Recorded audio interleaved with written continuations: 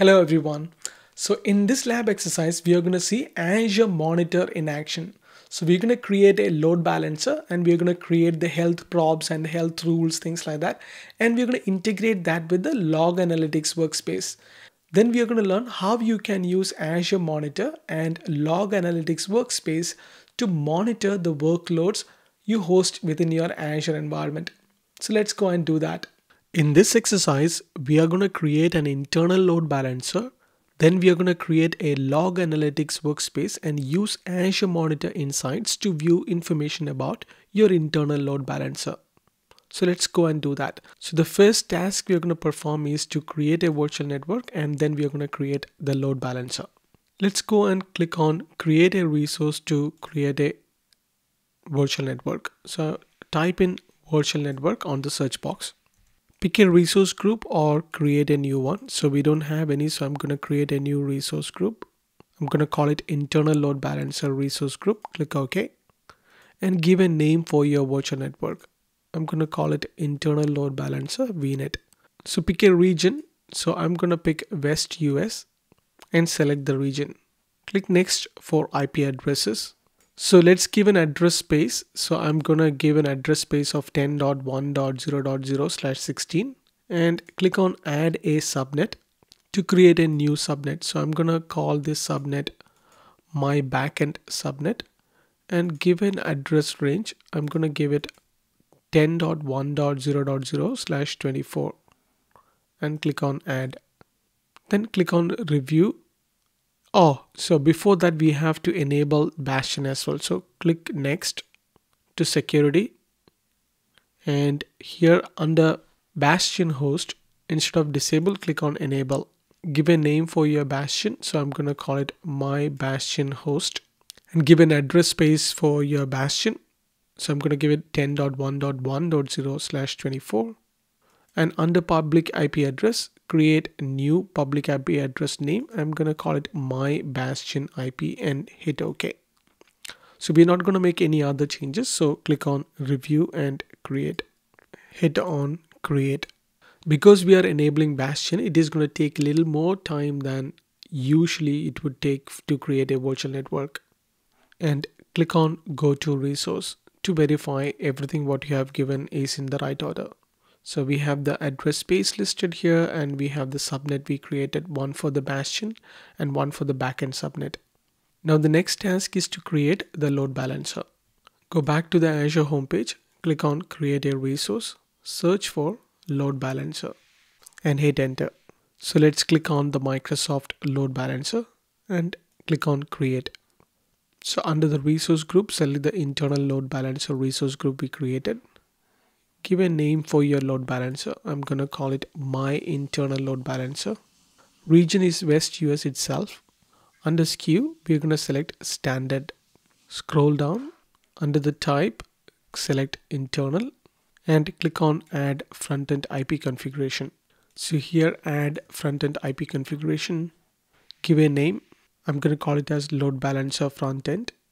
Under virtual network, make sure you select the right network and select the subnet. So I'm going to select my backend subnet.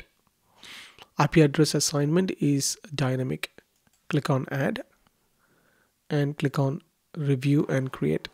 After validation, hit on create. So load balancer is created. So click on go to resource to go to the newly created load balancer. So the next task we are going to do is we are going to create a backend pool. So let's go and do that. So within the load balancer under settings, click on backend pools. Click on add. Give a name for your backend pool. So i'm going to call it my backend pool. Virtual network is internal load balancer vnet and scroll down. And we are going to add virtual machines later to this backend pool. So right now we are not making any more changes so click on add. All right so our backend pool is created. The next task is to create a health probe so the load balancer monitors the status of your app with a health probe.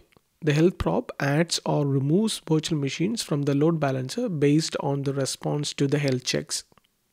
So let's go and create a health probe to monitor the health of the virtual machines. So within the load balancer, under settings, click on health probes. So we don't have one, so click on add. give a name for your health probe. So I'm going to call it my health probe. Protocol as HTTP and port 80. Path we are going to retain slash. Interval we are going to give it 15 minutes. Unhealthy threshold it's 2 and click on add. Alright, so our health probe is being created. The next task is to create the load balancer rule. So to create the load balancer rule, click on load balancing rules and click on add. Give a name for your load balancer rule. I'm going to call it my HTTP rule. Retain IP version 4. Select the front end IP. So I'm going to select the load balancer front end. Select the backend pool. I'm going to select my backend pool. Protocol as TCP.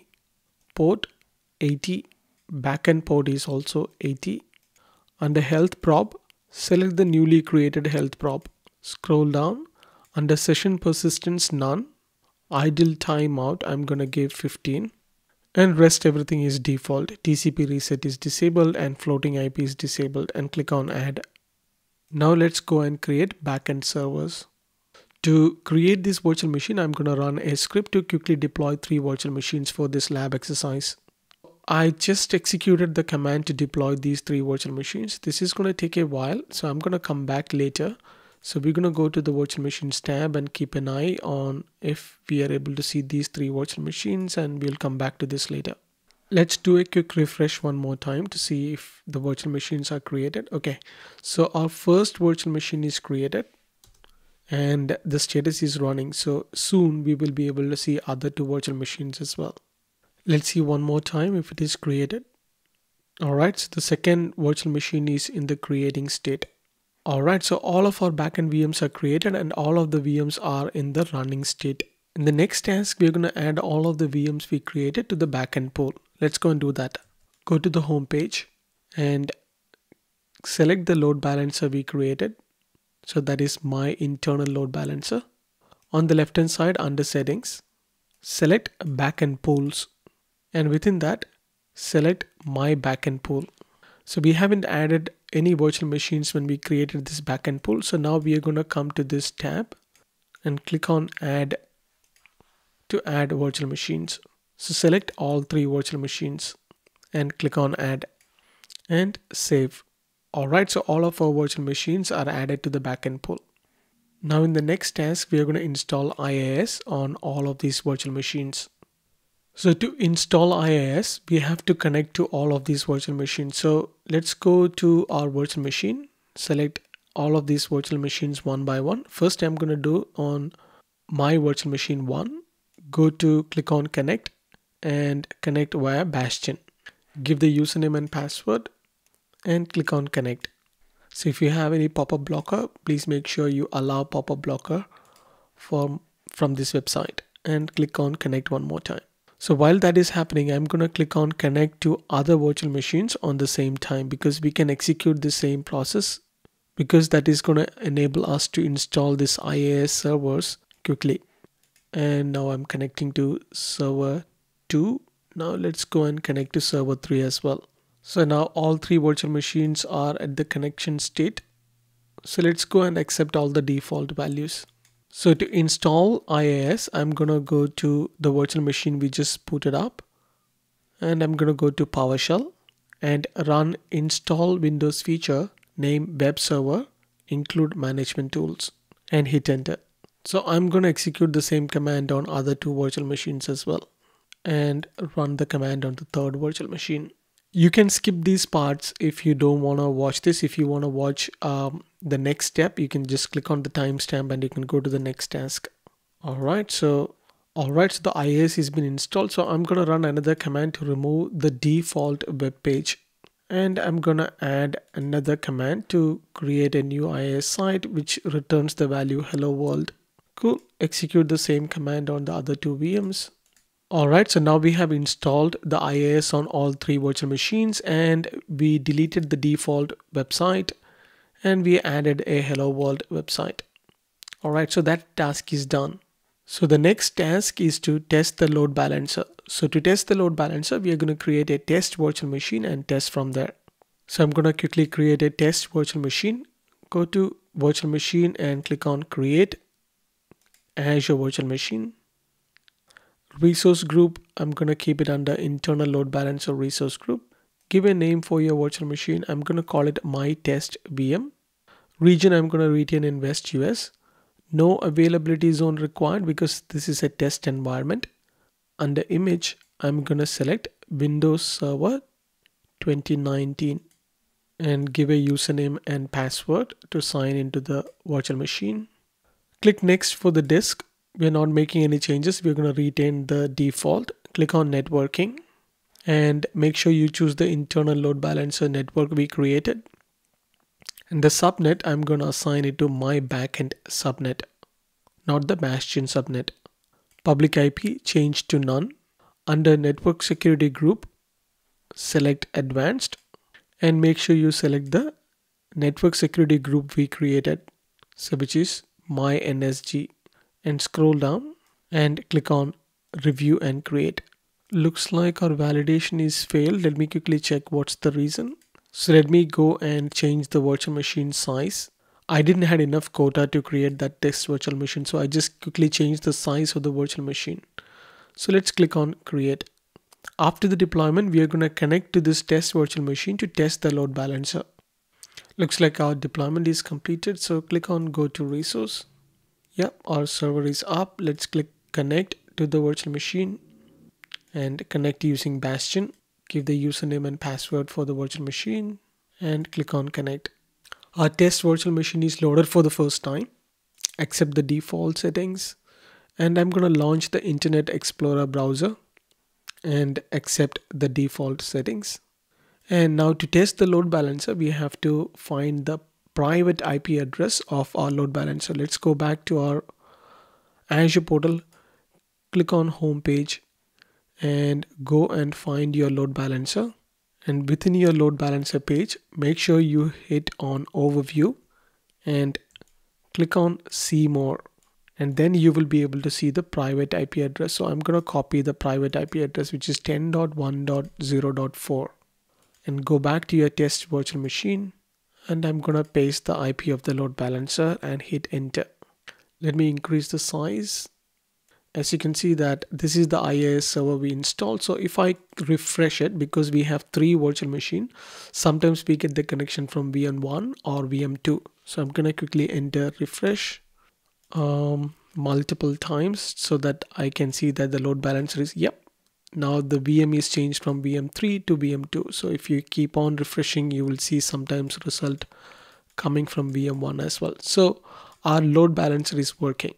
So now we have our load balancer. Let's do the main exercise. The whole purpose of this exercise is to monitor the load balancer. So so we're going to create a log analytics workspace now to enable the Azure monitor to create the log analytics workspace, go to the Azure homepage and click on create a resource. This time search for log analytics workspace and select that and click on create.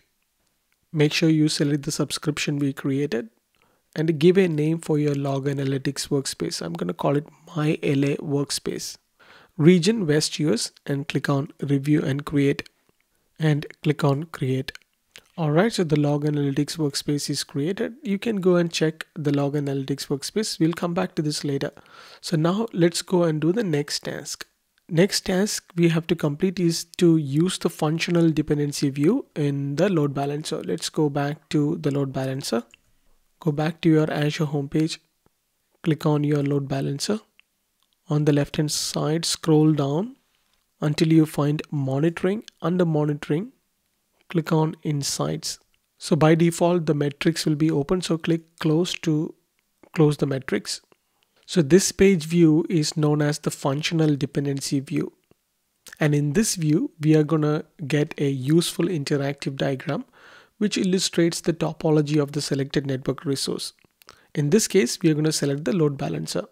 So this is the functional dependency role so you can click on these interactive diagrams to get more details of the functionality dependency view on your load balancer.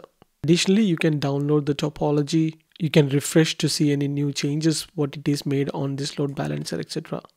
Additionally, you will get this zoom in, zoom out option as well. So if you want to zoom out, you can zoom out and see additional details. To download the SVG file, you can click on download the topology and that will download the SVG file. So this is the downloaded file. Now let's click on view metrics. This metrics pane provides a quick view of some key metrics for this load balancer resource in the form of bar and line charts. To view detailed metrics, you can click on view detailed metrics over here. This opens a large full metrics page in the Azure Network Insights platform. This is the first tab you will land on the overview tab and which shows the availability status of the load balancer and the overall data throughput and front-end and back-end availability for each of the front-end IPs attached to the load balancer. And these metrics indicate whether the front-end IP is responsive and the compute instance in your backend pool are individually responsive to the inbound connections. So to check the availability, you can click on front-end and backend availability and this is where you would be able to see the health probe status charts. And if you see any value that is lower than 100 for these items, it indicates an outage of some kind on those resources. On the top, next you can check is data throughput. This is where you can check the data throughput charts for the system. This is where you can gain the data throughput information. And you can hover over some of the data points in this chart and you will see the values change to show the exact value at the point in time. Another chart is flow distribution. So click on flow distribution. This is where you will be able to see charts for VM flow creation and network traffic section. All right, so now let's go and see the resource health. To view the resource health, go to all services and search for monitor and select the Azure monitor. On the left hand side, and on the left hand side click on service health. Under service health click on resource health. And select the resource type. The resource type you are looking for is the load balancer. So search for load balancer. And you can click on your load balancer. So the resource health page will identify any major availability issue with your load balancer resource. So if there are any events under the health history you can expand the health event to see more detail about the event. All right, so now we have completed the functional dependency view, detail metrics, and the resource health. Now let's go and do the last task, which is to configure the diagnostic settings. So go back to the home page and select your load balancer. On the left hand side, under monitoring, click on diagnostic settings and add diagnostic setting. So give a name for your diagnostic settings. I'm going to call it as my load balancer diagnostics. Click on all metrics and send to log analytics. So because we have a log analytics workspace created, make sure you select your log analytics workspace. And to save the changes, all you have to do is click on save. So this will send any sort of diagnostic reports to the log analytics workspace. I hope all the information provided in this lab was helpful. I will see you on the next one. Until then, take care.